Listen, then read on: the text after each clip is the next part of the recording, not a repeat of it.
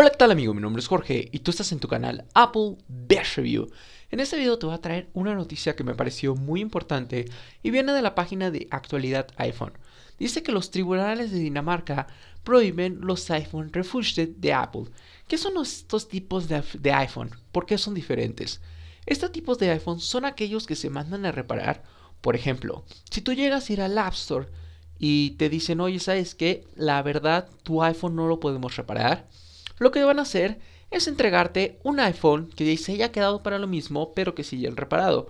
Por ejemplo, cuando se llega a dañar mucho tu pantalla, se llega a mojar tu dispositivo y todo eso, Apple te va a recoger tu dispositivo en caso de que tengas garantía y lo lleves a reparar con ellos, por ejemplo, una Apple Care, y lo que va a hacer es entregarte otro dispositivo nuevo. Así, ellos, una vez que ya tienen tu dispositivo, se pueden tomar tu tiempo para reparar perfectamente tu dispositivo y una vez que alguien llega a tener problemas lo vuelven a sacar a la venta. Sí, esto podría ser una solución ecológica, pero al mismo tiempo no te garantiza con mucha seguridad. Aunque si bien un iPhone que se fue reconstruido dice aquí que tiene más políticas, o sea, como que tiene que pasar por más pruebas que un iPhone que sea comprado totalmente nuevo, ahí existen varios problemas, por ejemplo, que a veces también sigue mal, como ya no, no son piezas totalmente nuevas, a veces ya son usadas. Y tengo el ejemplo de un amigo. Él su iPhone 7 lo cambió por un sonido que te hacía extraño. Ya saben el sonido gate que estaba en el iPhone 7 que como que sonaba como un chiflido. Él fue le dijo al App Store, oye, ¿sabes qué? Mira, tengo ese problema. Y los del App Store, bueno, no son el App Store, los del iShop le dijeron, ¿sabes qué? Pues sí, sí entra, ya vimos que se suena. Y le cambiaron su dispositivo. ¿Qué pasó? Una semana después, ahora fue a cambiarlo porque el iPhone que le entregaron como reemplazo, pues ya no le sirve el GPS. Y así, literalmente ya no le funciona. Hoy, el día de ayer a las 7 de la noche tenía que ir a recoger su dispositivo y le dijeron, ¿sabes qué? Tu iPhone no tiene reparación, te vamos a tener que dar otro nuevo. Así que ven en unos días. En países como en Estados Unidos y Dinamarca, o bueno, países más como primer mundistas, no tanto primer mundistas, que si cuentan con un Apple establecido, cuando tú tengas, llegas a tener algún problema y no tienes reparación inmediata, instantánea o puede tardar mucho tiempo, te entregan un iPhone que esté totalmente desbloqueado, un iPhone refurbished, un iPhone que fue reconstruido. Pero ahorita los tribunales de Dinamarca han decidido que Apple no, tiene, no va a entregar un iPhone reconstruido. Apple tendrá que entregar un iPhone totalmente nuevo.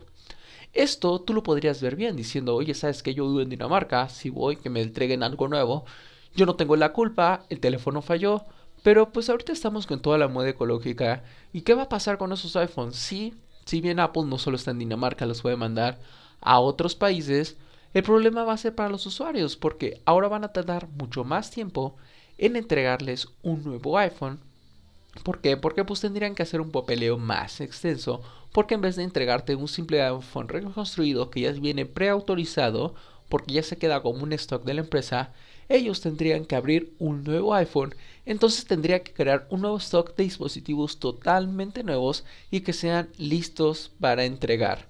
Entonces, la nota que resalta, la nota que te estoy dejando en la descripción del video, es la nota del 10 de diciembre, creo que estamos, hoy es de hoy la nota.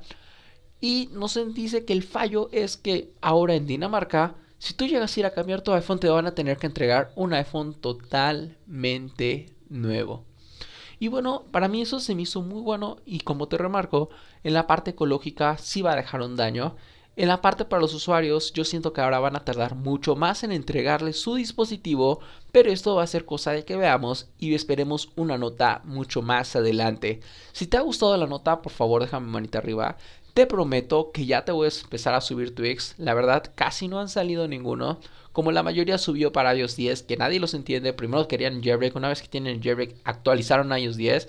Es una tontería. Pero voy a estar buscando los mejores tweaks y se los voy a traer. Y bueno amigo, por mi parte esto sería todo. Espero te haya gustado el video que yo. Yo te veo en el próximo video.